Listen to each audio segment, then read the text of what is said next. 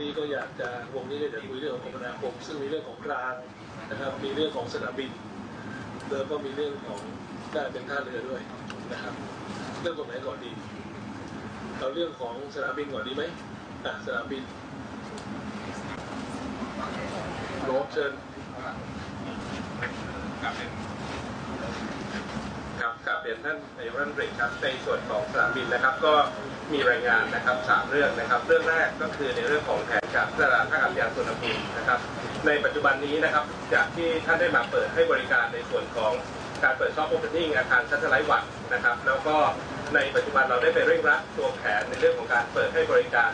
ตัวรันเวย์ที่สามนะครับซึ่งตรงนี้เนี่ยจะขยายขีดความสามารถในส่วนของ airside นะครับไปอยู่ที่ประมาณ 80 ล้านคนต่อปีนะครับ ซึ่งก็จะเห็นว่าในช่วงของ winter season ตอนนี้เนี่ยยอดจองสล็อตเข้ามาเนี่ยนะครับ ตอนนี้เต็มไปอยู่ที่ประมาณ 95%ก็คือยังมีเสียงตอบรับดีนะครับจากสายการบินนะครับในทุกภาคส่วน นะครับจะมีส่วนที่ยังต่ำกว่าที่คาดการก็คือจีนนะครับซึ่งตอนนี้ถึงแม้ว่าเราได้รับแรงผลักดันมาจากนโยบายวีซ่าฟรีนะครับแต่ก็ ยังอยู่ในระดับประมาณ 60-70%จากที่เราเคยได้ณปี 62 นะครับ ซึ่งตรงนี้เนี่ยยังต้องช่วยกันผลักดันอยู่นะครับ ก็ในส่วนของตัวรันเวย์สามและและตัว satellite one เนี่ยนะครับก็จะทำให้ขีดความสามารถของสุวรรณภูมิเนี่ยเพิ่มนะครับ แต่ตอนนี้สิ่งที่เรากำลังเร่งรัดดำเนินการตามนโยบายท่านนายกก็คือ เรื่องของการเพิ่มขีดความสามารถ landside ก็คือตัวตอมอนะครับ ระบบเช็คอินตรวจค้นตม. สามอัน ซึ่งเราได้ประชุมกับทาง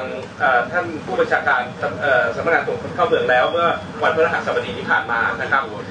ทางสำนักงานตรวจคนเข้าเมืองในเห็นเห็นด้วยในเรื่องของการตัดกระบวนการตรวจคนเข้าเมืองขาออกออกนะครับแล้วใช้อุปกรณ์แทนซึ่ง LT เนี่ยกำลังนำเอาตัวรายละเอียดของอุปกรณ์นำเสนอนะครับ เพื่อที่จะตัดลดความจำเป็นในการใช้คนเขาคิดว่าจะใช้จะเริ่มใช้15ธันวาใช่ไหม ในส่วนของ 15 ธันวาเนี่ยครับ อันนี้เป็นเป็นระบบเดิมก็คือเป็นระบบที่เป็นระบบผสมทั้งเครื่องและคนนะฮะซึ่งเครื่องเนี่ยทาง LT เป็นผู้จัดหาให้แล้วก็ปรไวให้เขา แต่ตอนนี้สิ่งที่เราเสนอคือ radical change เลยก็คือกระบวนการที่ใช้คนสำหรับตอมขาออกเนี่ยเปลี่ยนเป็นเครื่องทั้งหมดนะครับ เพราะว่าเราทำให้เขามั่นใจว่าเรามีระบบ APPS ซึ่งสามารถดักได้ทั้งอาชญากร ที่ overstay นะครับแล้วก็ผู้ไม่พึงประสงค์ต่างๆเนี่ยเราดักได้แล้วทั้งหมด ฉะนั้นเนี่ยเราจะบอกว่าขอเปลี่ยนตมขาออกไปใช้ที่ขาเข้าเมื่อไหร่แล้วติดอุปกรณ์ทั้งหมดนะครับซึ่งตอนนี้ถ้าเกิดว่าสามารถตกลงกันได้ภายในปีนี้นะครับก็คือทุกอย่างคุยกันได้จบเนี่ยนะครับภายในเดือนกรกฎาคมปี 67 เราจะติดอุปกรณ์เสร็จเพื่อให้พร้อมกับการเปิดใช้ winter season ของปี 67 ครับแต่ว่าตอนนี้ วันที่15ธันวานี้น่าจะได้แบบ mix ได้ใช่ครับใช่ครับซึ่งเราไม่เคยมีมาก่อนถูกคซึ่งเราไม่เคยมีมาก่อนโอเคครับครับผมอะอันนี้ก็เป็นสิ่งที่เราร่วมมือกับทางสตม.ไปครับครับนะครับ